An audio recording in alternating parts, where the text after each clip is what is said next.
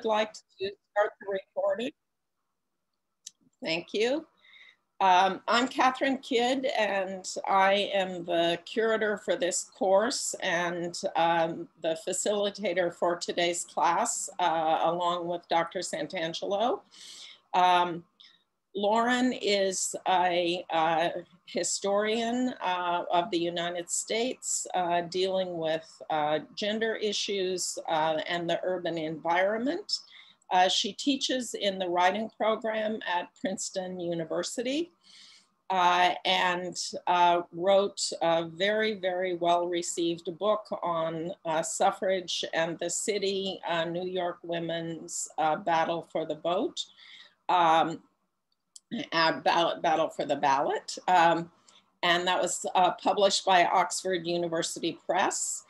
Um, Lauren earned her uh, bachelor's degree at Marist College and her PhD from City University of New York. Uh, she has had postdoctoral fellowships uh, at the New York Historical Society and the College of Liberal Arts at the New School.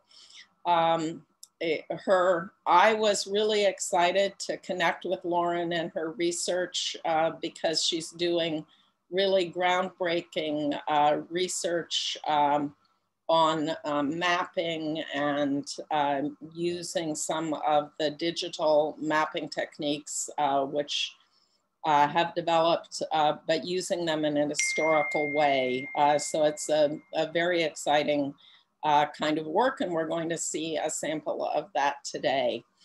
Uh, Lauren is uh, currently doing research on um, Italian American uh, survivors of sexual assault in the 1920s. Uh, and um, uh, so I think with that, I'm gonna turn it over to Lauren and thank you so much for being with us today thank you for that. Thank you for having me. I feel like I should say that I'm um, coming from Beacon, New York, uh, to add that to kind of the map. Um, thanks for having me today. Thanks especially to Dr. Kidd for organizing and inviting me. Um, I'm delighted to have this opportunity to speak with you all. Um, today, uh, as was mentioned, I'm going to be drawing on and adding some of um, from some of the ideas and evidence discussed in my book, Suffrage in the City, as well as growing and robust scholarship on New York City and suffrage.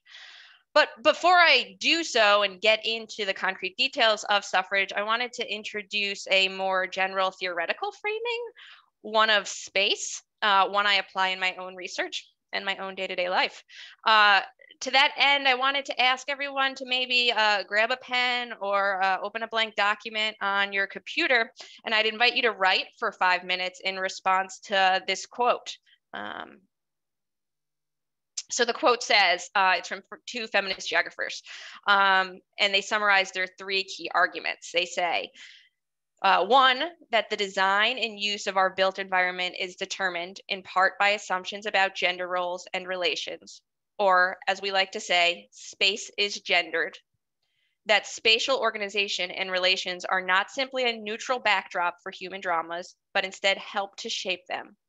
Three, that gender is an important interpretive lens that influences human relationships too and perceptions of both built and natural environments.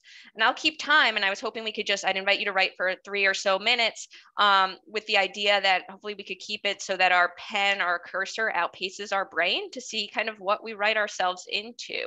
So with that said, I'll mute myself um, and keep time for us. Some general now that we've laid some general theoretical frameworks in making visible the built environment, space, and geography, I want to pivot to the more concrete topic at hand, suffrage. My interest in the topic stems from a puzzle. Here's the first part of it. Here are all the states that eliminated manhood as a criteria for voting prior to 1917, when New York amended its constitution to do the same. I don't say enfranchise women here because, of course, gender is only one factor that determined access to the ballot, race, ethnicity, literacy, class being factors as well. And you'll note that it's mainly Western states that the map indicates has full suffrage. That's striking to me when I contextualize it. That's the second part of the puzzle. When we think about all the resources that would have existed in New York, the political, financial, and social power in the state. Here are just some examples. New York State controlled 45 votes in the Electoral College. New York City's banking power was something like 23% of the national total. More than 5 million people lived in New York City in 1915. New York claimed 27,000 factories and shops, 280 colleges and academies, 125 places of amusement, 600 hotels, and 3,000 restaurants. And that really only touches the surface. New York, for instance, is home to the film industry prior to World War I, as, home, as well as home to the stage, restaurants, and hotels and department stores. So the riddle for me was why is New York, with all of these resources, one of the last states to change its constitution, to amend its constitution? New York State does so only three years before the 19th Amendment in 1917. So at its broadest, my research grapples with why New York is so late in this top timeline. And it really zeroes in, in on New York City to explore the complicated relationship between gender, political activism, and urban space. How did ideas about city, especially about gendered as well as racialized and class notions of safety and violence, influence campaign decisions? Inversely, how did women challenge these norms to demand the vote and thereby redefine the cityscape? To help place us mentally in the early 20th century, I wanted to show um, about a minute and a half of footage of the streetscape um, from a documentary that um, is done in 1911 that the Museum of Modern Art has generously uh, digitized. Um, and while we watch it, you might keep in mind the ideas of spaces in the built environment uh, and see what you um, notice. So hopefully this will play. So again, I'll play about a minute and a half of it.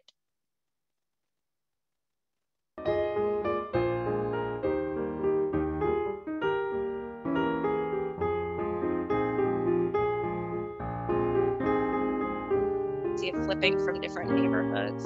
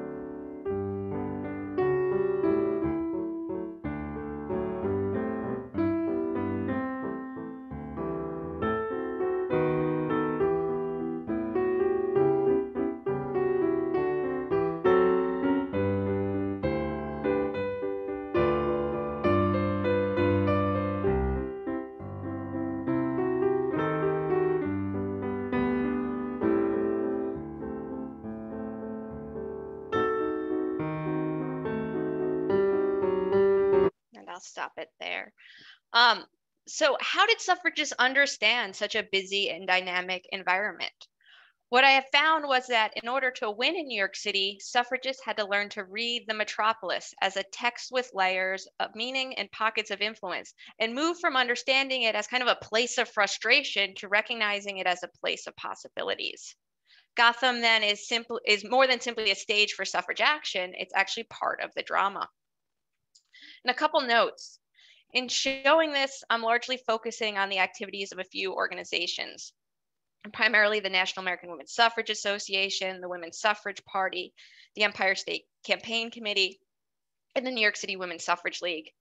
It's important to define this because there really isn't a singular suffrage movement, but kind of suffrage movements Um, the movement, as we know it, is really one of heterogeneous campaigns filled with solidarities and conflicts, one that extends well beyond these few organizations that I'll discuss today.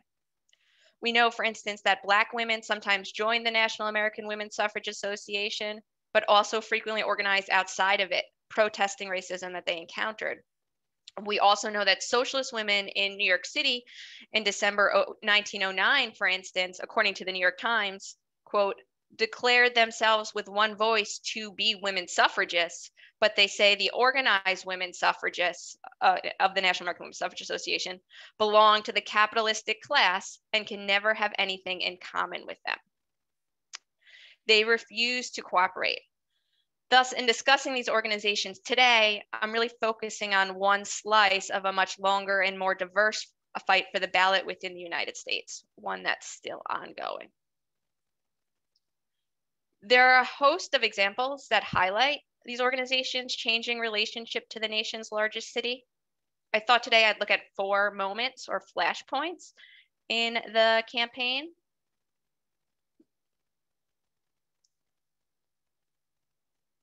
There we go. Um, and use some mapping to highlight the changing nature of that relationship. So I have four maps to share with you today. Um, one is from 1885 one, and I'm going to uh, step through these.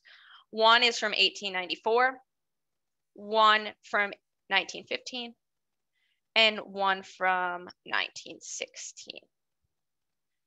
These maps are all based on georeferenced fire insurance atlases, and they mark suffrage sites mentioned in key publications like the Women's Journal and the Women Voter in the same weeks in late March and early April. So the idea was to try to kind of control some of the variables. As an aside, there are some more robust maps at mappingsuffrage.com, which is a digital humanities initiative I created um, to build a way to search suffrage activities. There are draft maps for 1870, 1890, and 1910 there. Bonus, they include, include the whole year and they're searchable. But for today, let's just focus on these four maps, kind of slices. It admittedly in investigating this, I'm really focusing on Manhattan at the expense of other boroughs. And as I mentioned, the suffrage organizations outlined here, like the New York City Women's Suffrage League, are far from representative of the diverse metropolis. Working class women, native born and immigrant, black and white, certainly participated. A few emerged as influential figures, and some organizations even created ethnic, race, and class based affiliated societies but the leadership of the organizations discussed here today remain largely white and middle class, despite efforts to contest this. I think it's important to recognize that gender restricted suffragist mobility in the urban environment at the same time that organizers' race and class bestowed on them a privilege most working class African American or immigrant women would never know, and a privilege we need to name and make visible in order to problematize. So let me jump to the next, the first slide. Um, and you'll notice on all of these, just to orient us, that middle green section is Central Park. You'll notice that the uh, first map is relatively empty. It's underscoring the campaign's small size and difficulty with using the metropolis during its earliest years. It shows one meeting. Um, the New York City Women's Suffrage League is kind of a key organization at this time period. It's led by Lillie Devereux Blake, who is a journalist and writer turned career suffragist who's deeply committed to the cause, also easily slighted. She has uh, kind of a major falling out with Susan B. Anthony by century's end. Um, overall, in the late 19th century, her league struggled with campaigning for the vote in a city that many deemed dangerous, especially for middle and upper class white women like Blake. Cities are thought of as dangerous for a host of reasons. For one, as historian Mary Ryan has discussed, they lack neat divisions of people. City streets threw men and women of all backgrounds together. Even more disconcerting than the absence of spatial divisions was the anonymity that defined urban life. In a small rural town, you would know who a newcomer or stranger was. In the city, everyone was potentially a stranger. They're considered particularly dangerous for women as streets make women vulnerable to risks of sexual impropriety and attacks from oogling to sexual assaults. There's specific etiquette in place for middle class women in cities, from dining at restaurants to traveling on streets. Metropolitan etiquette demanded that women have chaperones. Women needed to, quote, show reserve on city streets, one etiquette manual decreed, and act oblivious of those whom she does not include within her circle of friends. Suffragists don't really challenge this entrenched gender geography in the 1870s and 1880s, as evidenced by the 1885 map. Their arguments and ideas instead reflected an acceptance of it. In fact, Blake even publishes a novel in 1874 called Fettered for Life, Fettered for Life, that relies on the dangers in the city to propel her story forward the main character in the story actually travels from her father's oppressive farm in Dutchess County, New York, um, to the city in hopes of gaining some freedom. But she's quickly confronted with a host of urban violences political corruption, sexual harassment. There's even a failed kidnapping attempt in the story. Ultimately, the only woman in Blake's story who has the freedom to use the city must present as a man in order to do so. Blake's certainly not envisioning the metropolis as a utopia for women, and her percep- perception of the metropolis informs how she strategized about campaigning within it in real life. The diversity in the city, as well as its place as corporate headquarters, helped to convince organizers that not only was it difficult to campaign, campaign in the metropolis, it might in fact be futile. With its legions of immigrants in large corporations, they assumed the city was conservative and would oppose their effort more spaces certainly opened for white middle class women in Gilded Age New York. Department stores, in particular, provided a safe refuge, but organizers um, in these associations refrained from taking full advantage of them. From the 1870s through the early 1890s, they largely limited their gatherings to private homes, followed by the occasional hall and hotel. There is a couple notable exceptions, and I thought I would share one which is the protest they hold at the unveiling of the Statue of Liberty in 1886. Um, for suffragists, Unveiling Day, which is a public holiday in New York, presented this prime opportunity to make their cause more visible. Uh, and they hope to be included in the day's ceremonies. Blake sees, though, when suffragists aren't included in the day's events. What a monstrous absurdity that men should unite to do honor to liberty represented by a woman while refusing liberty to women. Blake actually uh, charters a boat for $100. There is like $4 left in the treasury or something. She has to sell tickets to make up the difference in order to rent a boat. Um, she has to settle for the cheapest one, which ends up being a cattle barge, which the owner had to promise to scour to eliminate any animal odor but they do they hold a protest um, and it's actually covered by the new york times as that uh, uh, that clipping shows um, blake and her peers steer the vessel close to bedloe's island to protest their ballotless state during the official ceremonies those celebrating might not see the suffrage demonstration amid the fanfare but those involved felt committed to demonstrating anyway even if doing so was uncomfortable Again, though, such public protest and action is the exception, not the norm during this moment. In this case, they also clung to the vessel. They don't actually disembark. I'm going to jump forward about a decade. Um, this is a map of 1894 from the same uh, few weeks. It demonstrates a gradual change. It marks meetings, again, during the same weeks as the map from 1885, it shows, I think, that organizations are more frequently using spaces within the metropolis. So the question then is like, what happens? What explains this shift? And the thing to know about 1894 is 1894 is the year of a New York State Constitutional Convention. And there's a significant upsurge of activity as organizers, I think overly optimistically, hope they can convince delegates to support an amendment. Many of the meetings in advance of the convention remain in people's homes, but there are two spaces that I'm hoping to draw our attention to, two suffrage headquarters actually. One at 14th Street and the other at Sherry's. Um, these headquarters not only suggest the increased frequency of the meetings, but also kind of a more strategic reading of the metropolis. And you could see that white um, pin marks um, the 14th Street uh, headquarters. Blake and her New York City Women's Suffrage League are the ones who opened the headquarters in a small room on 14th Street. Their visitors found maps of assembly and Senate districts on the wall, photographs of suffrage pioneers, including Stanton and Anthony, literature, and an officer of the City Suffrage League. What's notable to me is where the headquarters is located. Uh, the spot seems calculated. By placing their headquarters on 14th Street near Fifth Avenue, suffragists had in fact centered their campaign at the beginning of Ladies Mile, Mile to a high-end shopping district in Manhattan between 14th and 23rd Streets and Broadway and 6th Avenue.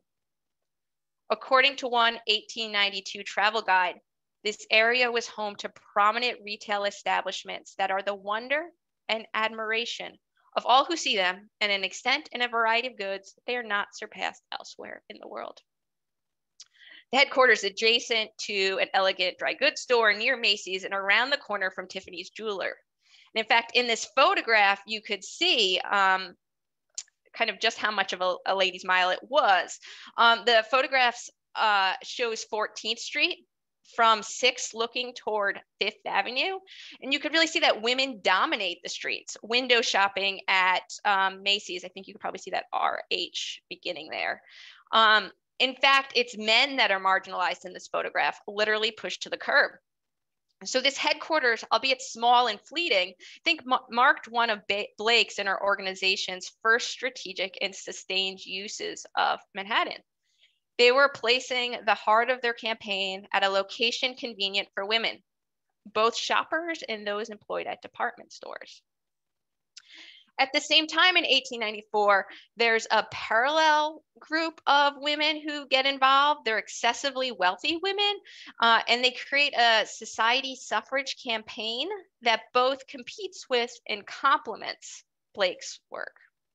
I'm talking about women like Olivia Sage or Mrs. Russell uh, Mrs. Russell Sage or Laura D. Rockefeller, Mrs. John D. Rockefeller. They lend their names and their homes to the cause. People like Mary Putnam Jacobi is key in organizing this uh, parallel society.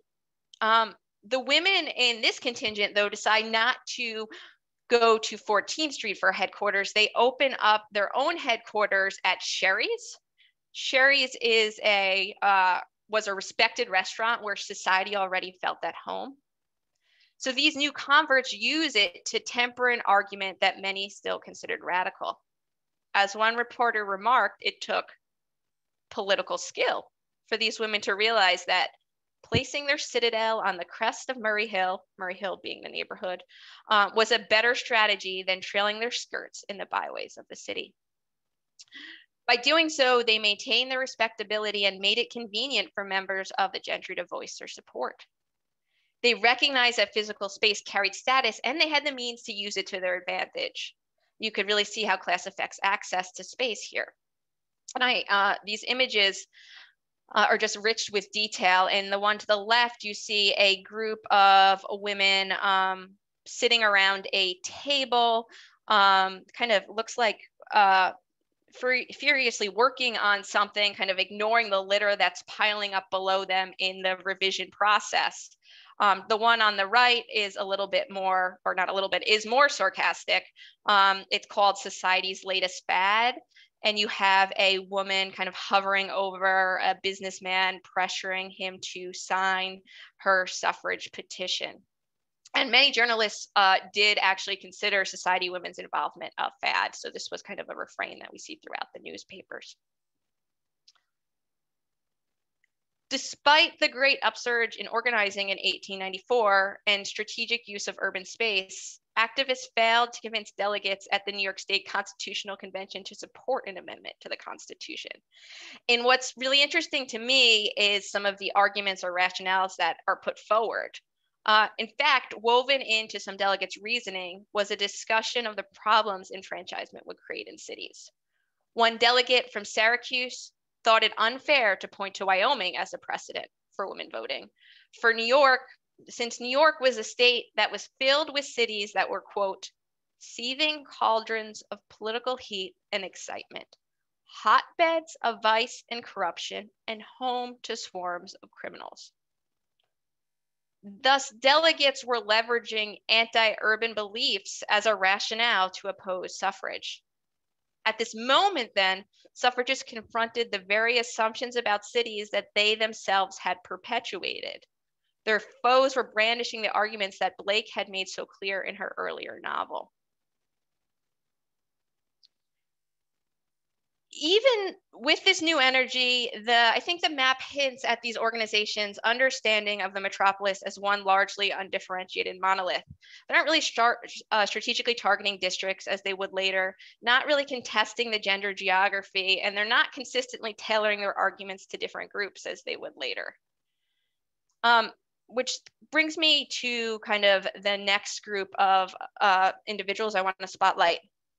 Blake retires in the early 20th century, and her organization basically collapses slightly before then, marking the end of what we might consider a pioneer generation and creating a power vacuum that a second generation filled around 1907.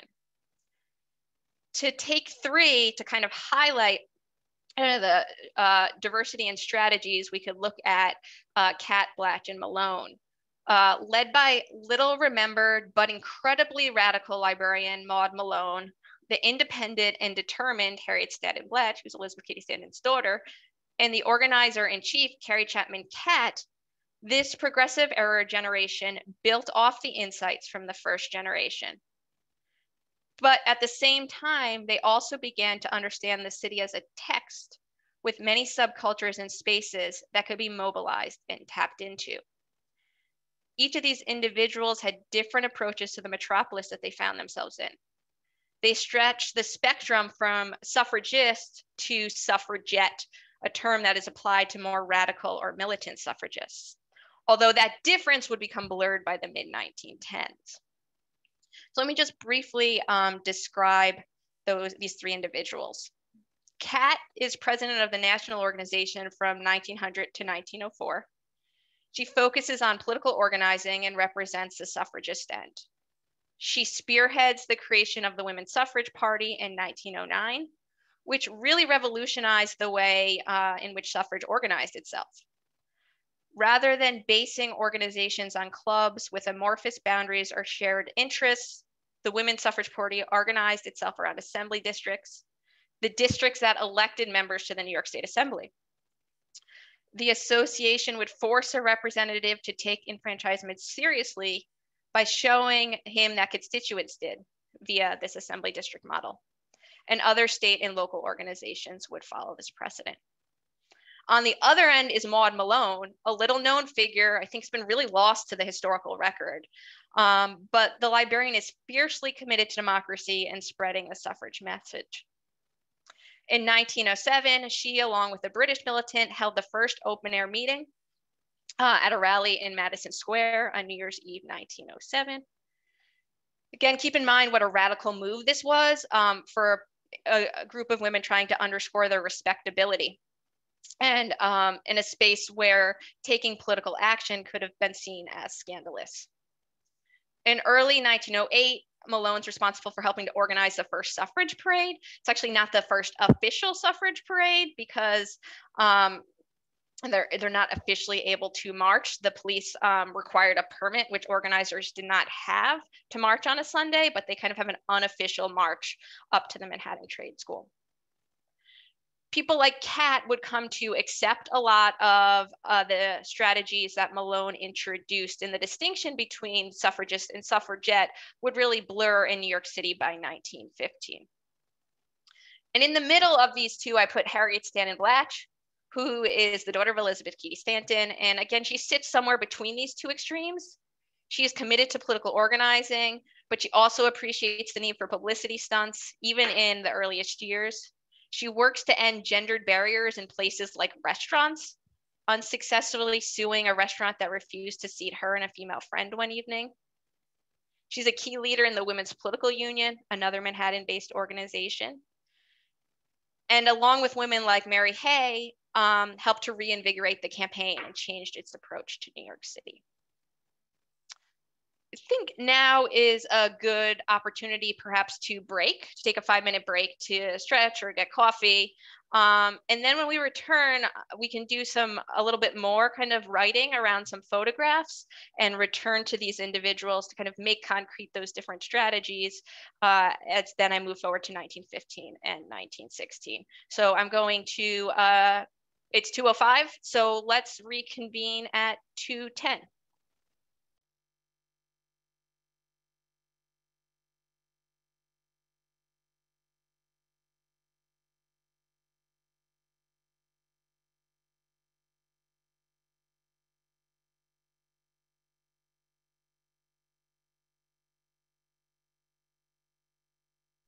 Welcome everyone back. Um, and to kind of settle us back in, I thought we could look at these two images of Madison Square. Um, one is workers looking down on the park from uh, the Metropolitan Tower. The other is kind of the tower at a distance. And I thought uh, I'd invite you to spend a few minutes writing around them. What do you notice about this as in terms of, of political space? What do you see um, here? Um, what might you mention or think about? Again, the idea is to just write uh, and see what you end up writing yourself into. But if we think about this as a space for political activity, what kind of do we notice or think about? Um, and I will mute myself to give us an opportunity to um, write for three minutes, and then I will talk about how different suffragists use this same space. Talk about the 1911 the 1911 Wall Street protest, wherein activists are chased out of the finan financial district, or how cigarettes morph into a scandal once they reach um, a vaudeville house. Happy to talk more about that. Sometimes they even mobilize the threat of a stunt, like with the women's strike, which is the clipping on the right side. Uh, the plan was for women to refuse to leave home for one day to prove how few actually remain there and how important their work outside the private realm was to the city's daily functioning. Suffragists reported that as soon as they thought up the scheme, they realized it impossible to carry out because it would, quote, cripple the world's work to an irreparable extent. Nevertheless, they advertised it to make a point.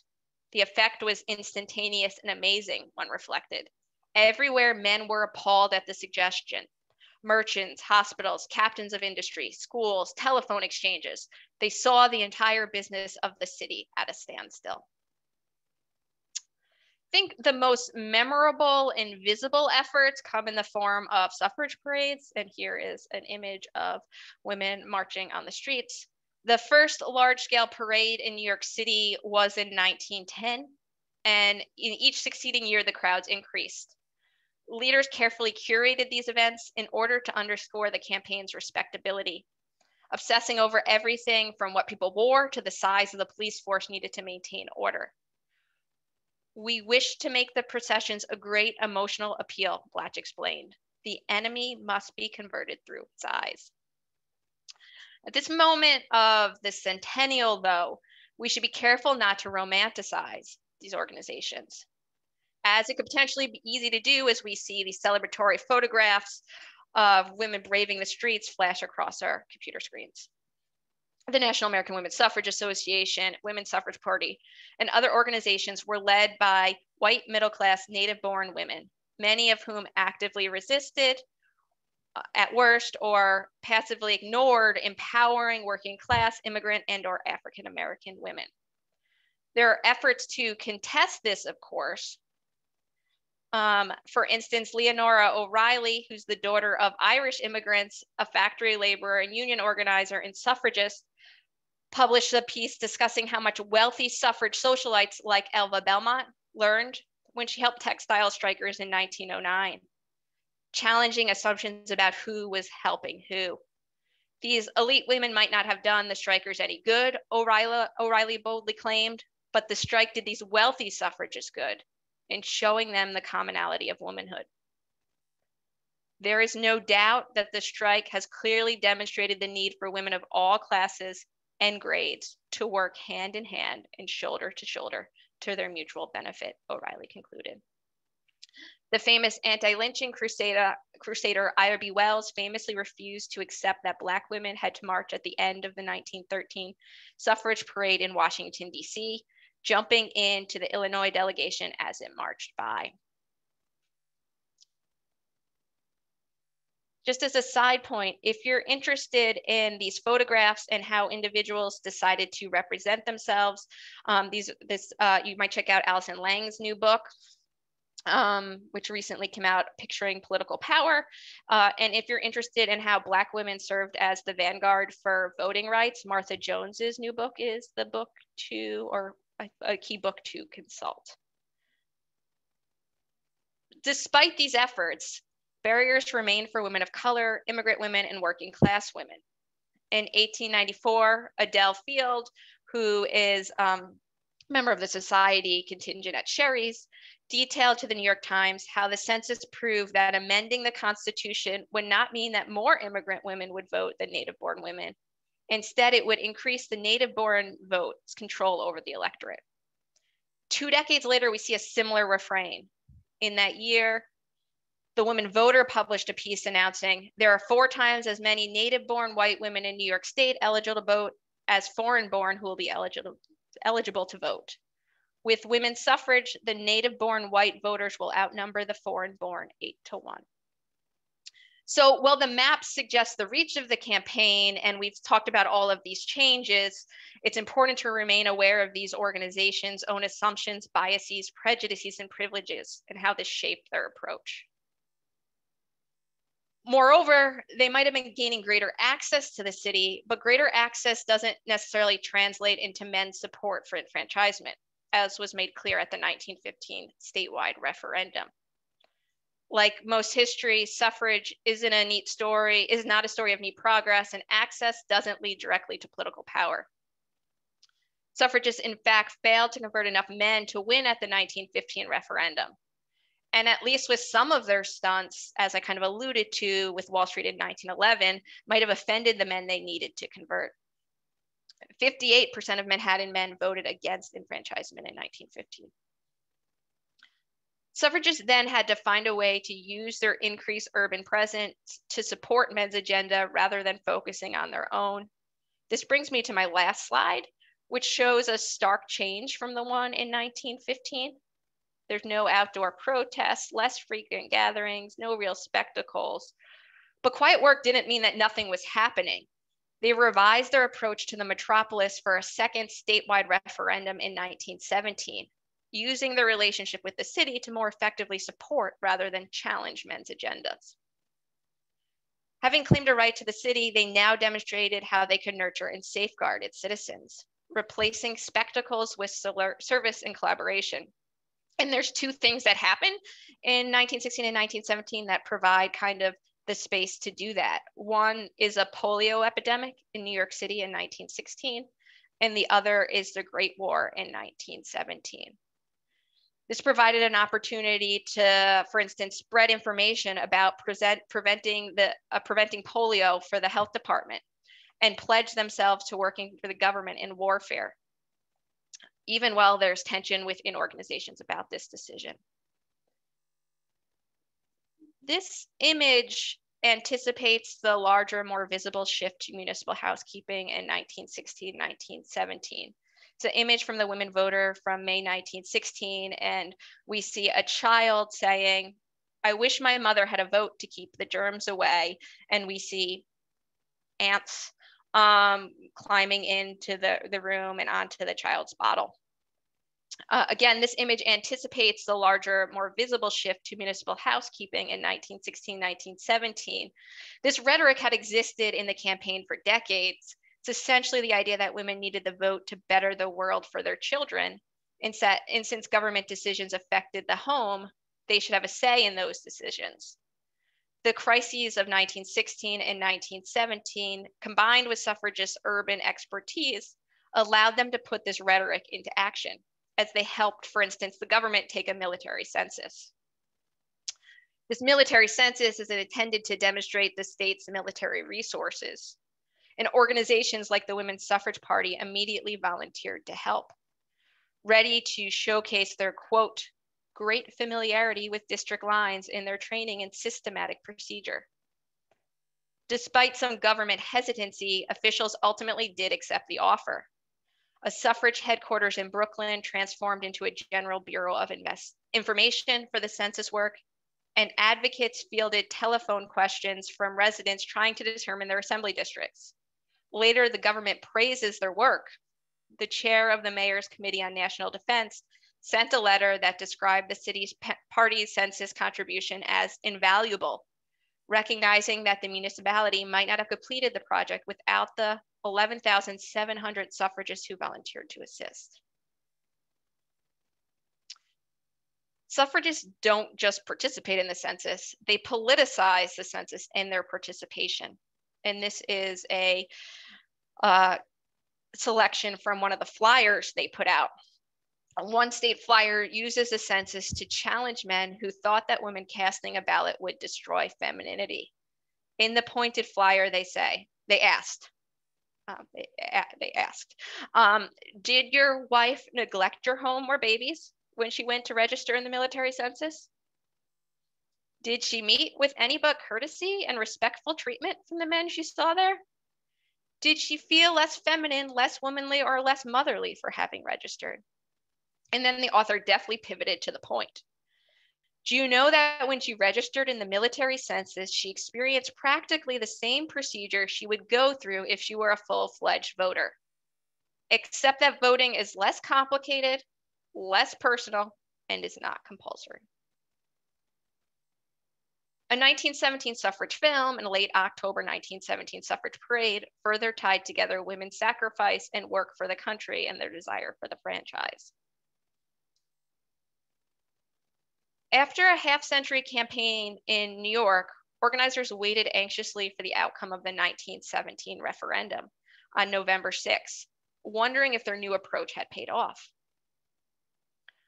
Wild joy seen in headquarters, exclaimed one newspaper column, describing the celebratory scene once suffragists realized they had won.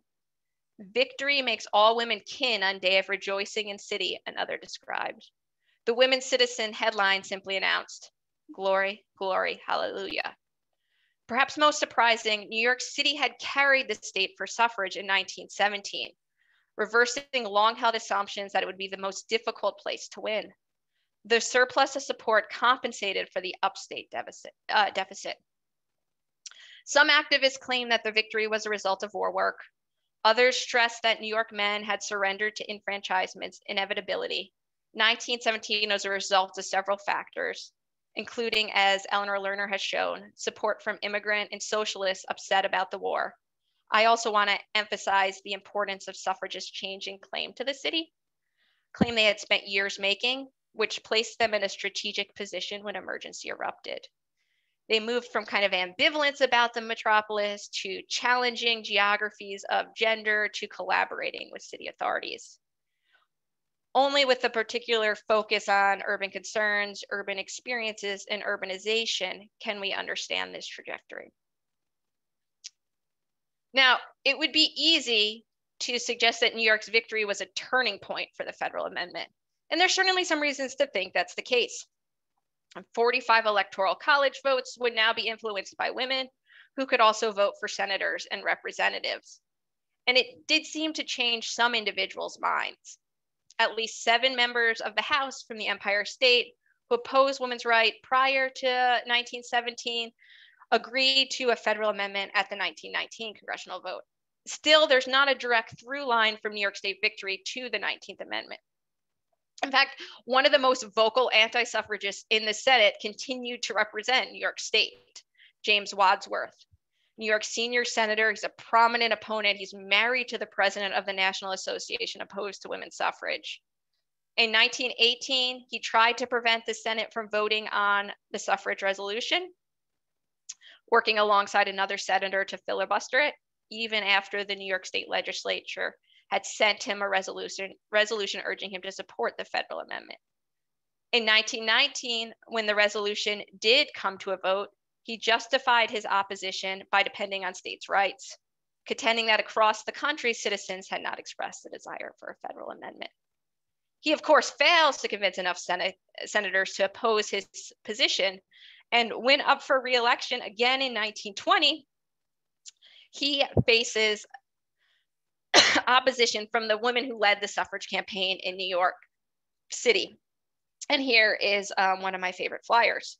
In one notable publication, um, I think they pointedly capture the shift that's happened in power and in spheres. They promoted the slogan, Wadsworth's place is in the home.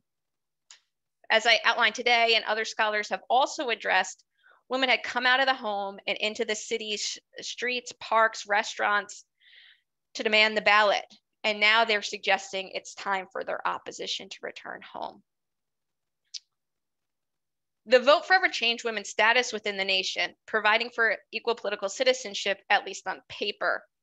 It doesn't, however, eliminate the gender geography of the city, and that's never really suffragist objective. One only needed to ride the subway a few years back and look at the MTA's etiquette campaign to recognize the ways about that assumptions and concerns about gendered bodies continue to anima- animate our zeitgeist. Um, to take this example, this is the manspreading posters, um, which are filled with sexual and gendered connotations. They're addressed to a dude with a person. I'm going to the guess the MTA wants us to read that person as a woman uh, looking on, and they dot subways, dotted subways. As suffragists keenly understood, gender, like class, race, and ethnicity, continues to determine access to and comfort within the metropolis shaping and sometimes constraining both ordinary mundane decisions and extraordinary political events. But just as suffragists also understood, we can mobilize the city, its signifying power, its resources, its built environment to contest injustices, demand visibility, and assert power. First, though, we need to notice. And I thought I would end with this quote from Sara Ahmed. Um, so much is reproduced by not being noticed. Ahmed writes, by receding into the background. What had receded into the background comes alive when you no longer participate in this, that rece recession. I hope today's um, overview made visible the importance of thinking critically about space and place.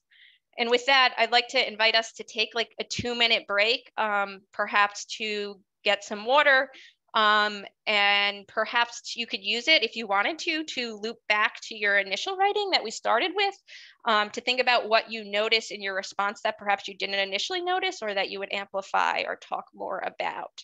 Um, so I will reconvene us at 2.30, let's say 2.38, and then hopefully we have some time for Q&A.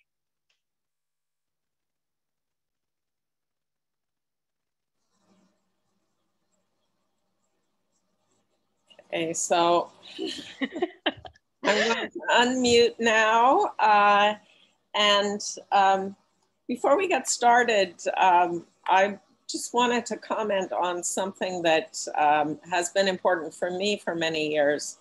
Um, my husband and I lived in Argentina in 1975 76, which was the end of the Peronist government, the beginning of the Dirty War, um, a very difficult time in Argentina. And um, when the military took power, the first faculty that they closed at the University of Buenos Aires was the architecture faculty. Mm. Because they very clearly understood that public spaces were political spaces. And I was shocked that they would have closed the uh, the architecture faculty because I think in the U.S. we don't think of architecture as something that is political, um, and but having lived through that time there, um, the political nature of public spaces and and of homes um, and became much more obvious to me and so, uh, Lauren, your lecture today uh, really highlights uh, that uh, issue again. So thank you so much. You. Yeah. Uh, yeah, I'm happy to kind of talk about, uh, yeah, well, I can field the questions, but I, I'm just thinking about the Wall Street protest a little bit as like a public space that's not really public and how that kind of works. Um, but we can start with the questions if that's. Yes. Okay. So um, one of the very first questions was um, Was New York really behind? Um, when it finally approved suffrage in 1917, when it was actually one of the first states east of the Mississippi? Um, yeah, that's a great question. I appreciate that question um, because it's like getting at some of the assumptions that are um, at play here. And I think one of the reasons for me it feels behind, well, a couple reasons. One is um, that um, a lot of the organizations ultimately come to exist in New York City. Two, that suffragists constantly assume that New York isn't really a place that could be one. Like there's all this kind of assumptions that shape priorities and resources, resource allocation. And three, I think the other thing that's striking, well, three is that the number of leaders who come from New York, and four would be that I think we tend to think of Seneca Falls as kind of the birthplace of suffrage. So recognizing that that's 1848, uh, and then we're like talking 1917, that strikes me as a um, pretty long time for us to kind of think through. Um, California, I think, is 1911. Um, and there's similar kind of uh, discussions about the urban uh, geography that exists there by other uh, scholars. So I think that's in my mind what uh, does that. And then, I mean, some could, you could kind of potentially make the argument that New York State was a tipping point in terms of the uh, 19th Amendment. I uh, tend to think it's a little bit more complicated than that, as I tried to kind of point out with the Wadsworth example, but um, I appreciate that question. Okay, thank you. Um, there are also a couple of questions having to do with um, uh, have people analyzed the vote, um, the suffrage vote uh, with regard to class? So mm-hmm. were higher income neighborhoods more likely to vote for suffrage um, versus lower income um, voting districts? You know, that's a great question and like a great mapping question. Um, because I know we have the city records um, that are broken down by assembly district and who um, kind of the percentage of individuals that vote. And we also have all that census data. So it would be really kind of cool to do that as a mapping project to align those two things. I'm not, I don't know anyone off the top of my head who's done like a quantitative study like that. Um, there has uh, Elinor Lerner wrote a dissertation uh, like uh, in 1980, I think, that talked about ethnicity and breakdowns, uh, but not so much about class and breakdowns. And that strikes me as a a really good project for um, someone to, like that gets me excited about mapping, right? Because we have all of that information and it would be really cool to kind of click around and see. So I'm not sure that I have a 100% sure answer to that question, but I, I think it's an excellent one that some mapping could maybe help us solve. Okay, uh, good. Um, there's a comment here about attire from Karen Curley uh, and that um, the complications of women's dress um, may have been a serious question with regard to um, accessibility to outdoor spaces. So could you comment on that? Yeah, I was thinking about that quote from the journalist um, who says something along the lines of like, "This is them meeting at Sherry's is better than them trailing their skirts through the byways of the city." Right? Um, there are a lot of scholars who have focused on fashion, and there are suffragists who challenge fashion norms during this time period. I'm thinking of uh, uh, Mary Walker, um, and some of the kind of uh, leaders kind of push back against these challenges of uh, uh, to fashion. But I think, right, like how clothing affects our ability to access space is something really, really important to think through. And we could kind of even see that in that 1911 clip, right? Um, that like how we could see like the women walking through um, very quickly. So um, there are people who contest the um, fashion norms of the time, um, but they're also not always celebrated by their contemporaries in ways that we might hope them to wish them to be. Okay. Um, Brian Harrison asks, um, how active were the anti people from the anti-suffrage mm-hmm. movement? Um, and uh, that's definitely an issue here. Um, in the Berkshires because um, our um, Anna Laurens Dawes, who was the leading citizen of Pittsfield. Her father had been a Senate a representative and then a senator for many years. And she was uh, one of the leaders of the anti suffrage movement in mm. Massachusetts, mm-hmm. where we also had an unsuccessful vote in 1914 15. So, right.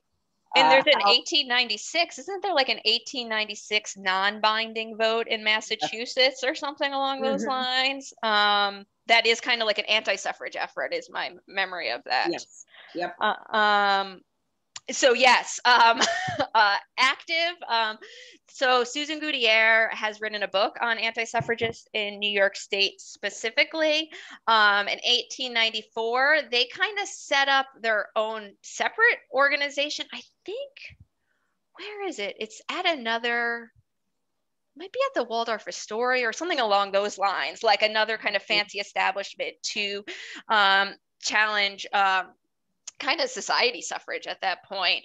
Uh, and they remain active and are active for um, up I, I, think if memory serves a Goodier's book, like 1915 is kind of the high point for, and I hope I'm doing Susan justice here, um, the high point for anti-suffrage uh, in New York State, because I think is my memory is that they start to switch towards war work uh, in like 1916, 1917, so aren't quite as active in 1917. Um, but sure, anti-suffragists are uh, organized.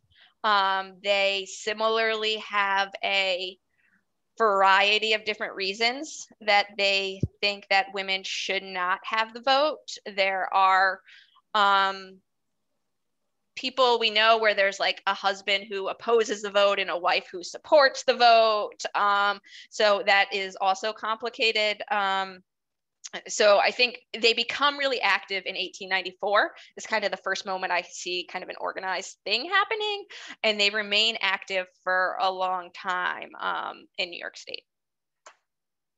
Okay, thank you. Um, uh, Deborah Aaron asks, uh, what did, uh, from Lerner's research that you just mentioned, mm -hmm. what uh, did that tell us about ethnicity and suffrage? Mm, I'm kind of tempted to look at, I have it written down here because I can never, um, it told us that different immigrant groups voted differently, that there wasn't like one, um, one, uh, one answer like there's not one immigrant group right? Um, and i'm just looking to see if i have the notes here which i might not from the top of my head. Um, but i believe she found that irish immigrants were the most opposed. Um, italian immigrants i feel like she said were divided Russian immigrants tended to support, and then um, uh, native born Americans also were, um, I think, pretty divided when she compared the different districts. Uh, I could get, I can't find the exact percentages off the top of my head, but I feel like that's um, that's how that kind of played out. And the important part for me, and I think for Lerner, what I learned from Lerner is like the complexities to not just think about immigration, right? To like think about different groups and how they'd be situated vis-a-vis the vote. Um, and I think that's how she, how the, those findings came out. Um, but don't quote me on that. um, I would um, point uh, some of our class members to um, oh, cool. John Dixon's um, um, materials uh, about suffrage in the Berkshires, which mm. uh, I sent you a link for uh, on the first day of the class, uh, because there was an ethnic difference here in the mm-hmm. Berkshires mm-hmm. with the Jewish community mm-hmm. mm-hmm. being the, the religious community that supported suffrage most. Um, and, and that, and with the um, Roman Catholic uh, church, um, and then uh, of course associated Irish and Italians mm-hmm. um, uh, were strongly encouraged to vote against uh, here in Massachusetts. Yeah. Um, yeah, I was just I pulled up. Uh, this is 1915. Uh, Jewish individuals were the most supportive. A challenge generally divided, as did native born, middle, and upper class white men. Um, the Irish were kind of most against enfranchisement. Those were the 1915 results um, from Lerner um, about New York City. Okay, and uh, Nancy Gilbert asks a question. She says, I have a large poster that says vote yes on the women's suffrage amendment November 2 Mhm. um, and points to the Empire State Suffrage Committee. Um, it- she's asking if this has to do with the 2015 or the 1915. Yeah. Yeah, it certainly does. And I can um, tell based on two factors. Um, one, the Empire State Campaign Committee is a 1915 or an organization leading up to the 1915. It's kind of like a umbrella organization. Um, and I think uh, 1917 is uh, November 6th in 1915 is November 2nd. Yeah, that's really, um, I want to see the poster. Uh, I'm wondering what's happening on the poster. Like, I'm very curious about the poster. Uh, um, so, uh, Okay, uh, there's another question here. Um, what was Emma, uh, Emma Goldman's role in the suffrage movement in the United States um, and in New York in particular? yeah, I think the leaders I'm talking about um, are distancing from Emma Goldman um, rather than welcoming her in. And I think Goldman has um, maybe uh, the even larger structural changes in mind. Um, so uh, she's not involved in the suffrage organizations in which I'm looking at.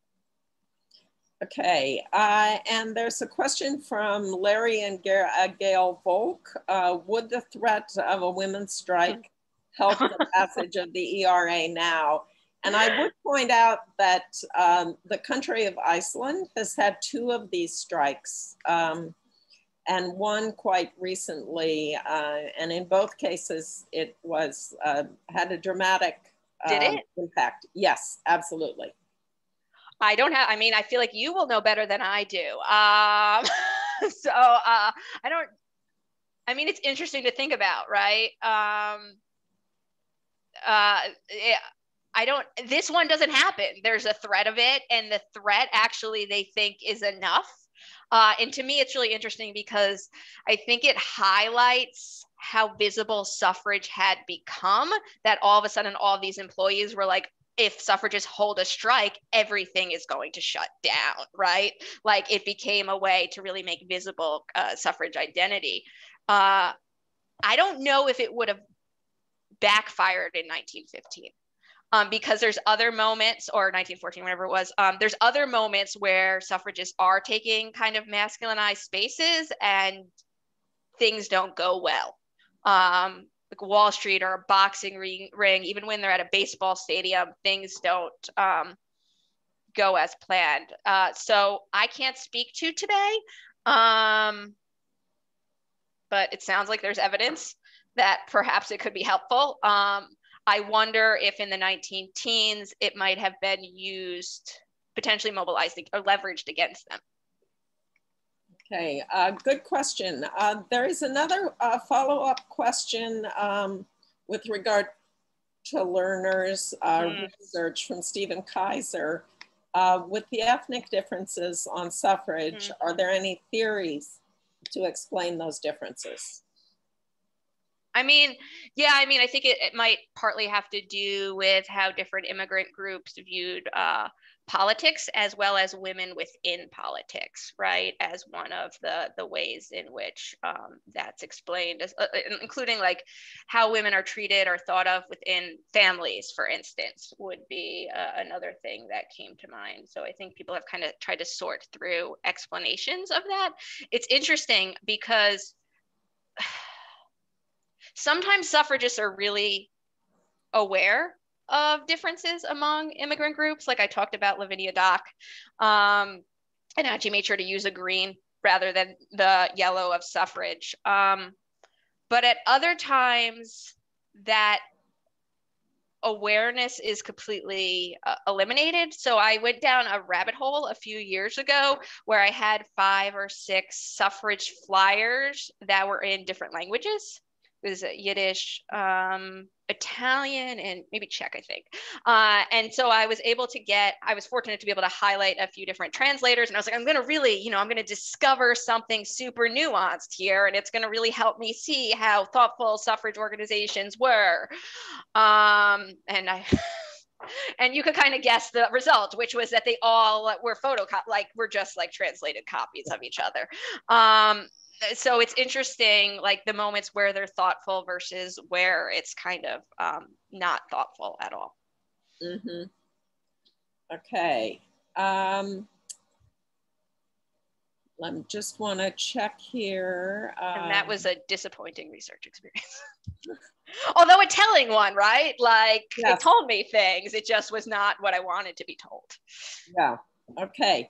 Uh, so Gail Gelberd uh, says we've been hearing about um, the activities of suffragists leading up to the 19th Amendment. What was it like after the 19th Amendment was passed? Mm-hmm. And what are, were there things that you can point to that changed for women uh, after 1920? Sure. I mean, and I, I feel like I don't want to uh, step on Dr. Robin, Robin Rosen's toes here a little bit because I know you have an upcoming lecture on this, but I certainly think um, I tend to think about this in terms of uh, Judith Shklar, who's a political yes. science dude, or yeah, yes. uh, who talks about voting as a practice and as a status. Um, so for me, that sort of conceptualization is really helpful. Like there's the practical effect of being able to vote and have your voices heard, and then there's also like the status of being a voter uh, and having kind of that position in society. So I think even at a conceptual level, we could think about how important um, 1917 uh, and um, later on are. And of course, there's like, there's, uh, I believe Margaret Chandler Aldrich, who's a suffragist, um, ends up running for office in Dutchess County, or it seems like she runs for office following uh, the vote. Um, so there's these kind of more opportunities and more legislations. Uh, and but then there's a course of like a fracture in the movement in the 1920s again. Um, but I will um, not step on uh, Dr. Rosen's toes, who, uh, full disclosure, was my undergrad advisor. So, uh, yes, but I would point out to people, even if you want to do some research on it before um, um, Robin's lecture, which will be our last class, is that um, the League of Women Voters. Right. So, how do you mm-hmm. Um, educate voters? Right. Uh, mm-hmm. That started and it was nonpartisan. Um, mm-hmm. and that came out of the suffrage movement directly. Mm-hmm. Uh, also, um, if any of you read the biography of Harriet uh, Stanton Blatch, uh, you know that in those days, if you were an American woman and you married a foreigner, you forfeited your citizenship. Uh, and so that was there was a bill called the Cable Act, which uh, was passed immediately after uh, suffrage, which changed uh, the rules with regard to citizenship and um, of women uh, who married foreigners, and did not mean that it changed the law so that they didn't lose their right. citizenship. Yeah, that's a big deal for Blatch. I think that happened uh, when she loses it. Um, yeah, there's actually an excellent website too that's called like her hat in the ring or something along those lines that mm-hmm. allows you to see women running for political office um, across the country, I think. So I would suggest checking that out too. Okay, so her hat in the ring. I think it's um, throw her hat in the ring or something. I could okay. follow up with you with the exact one, but it's a it's a DH project that uh like I think really gets down to local level too. Okay. Great. Uh, well, I we promised Lauren that we would um, let her get off at three o'clock so she can pick her children up from school. uh, uh, but uh, Lauren, I can't thank you enough for, for a really uh, very informative um, and um, mind expanding uh, presentation. well, thank you for having me and thank you for all of the excellent questions. Okay, thank okay. you. All right, take care. 拜拜。